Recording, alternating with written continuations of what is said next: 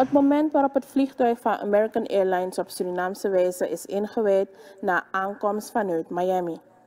Het was de eerste vlucht van de Amerikaanse vliegmaatschappij naar de Johan Adolf Bengel Internationale Luchthaven. Nadat ceremonieel de strik was doorgeknipt, is er een persconferentie belegd.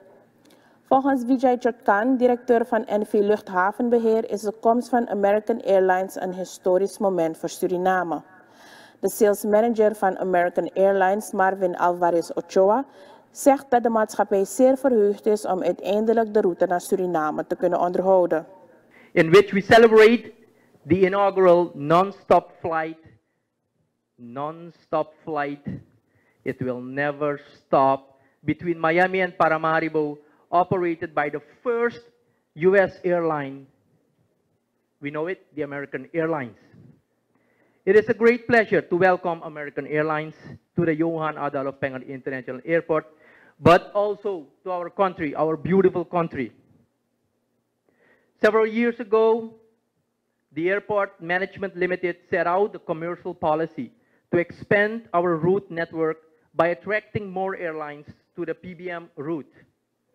Thank you for joining us in this important day of American Airlines as we become the first and only U.S. airline to offer non-stop service to Suriname.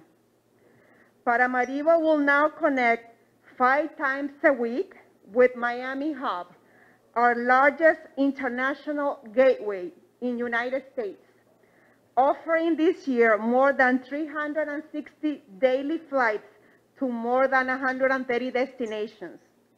We are proud and honored to begin new service to this culturally diverse country and an emerging ecotourism destination in South America.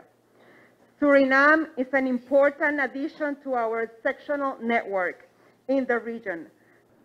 Ambassadeur Karen Williams van de Verenigde Staten hoopt dat de komst van American Airlines de export zal bevorderen.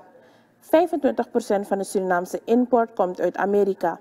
En dat was ruim 290 miljoen Amerikaanse dollars in 2020 voor de COVID-19-pandemie, geeft ze aan.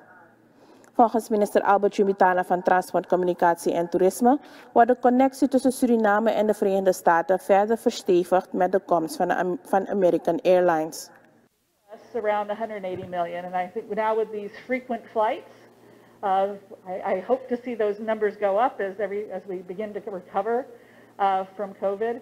I think uh, many of the speeches and, and, events we've all been to over this last year or so, they've been few uh, because of the needs to social distance, et cetera.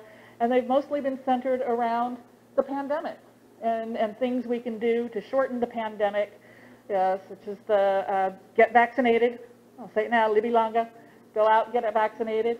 But uh, this is a happy event. Uh, this is one of the bright bright shining things that we've done recently. I hope will be the, be the beginning of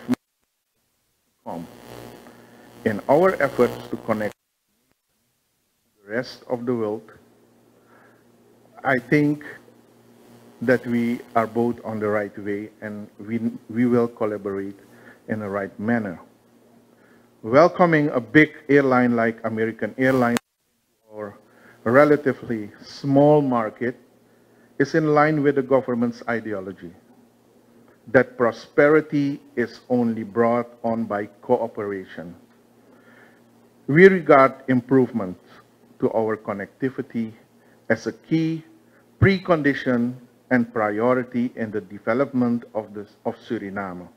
American Airlines heeft nu 17 destinaties in 9 Zuid-Amerikaanse landen en versterkt daarmee zijn positie in dit continent.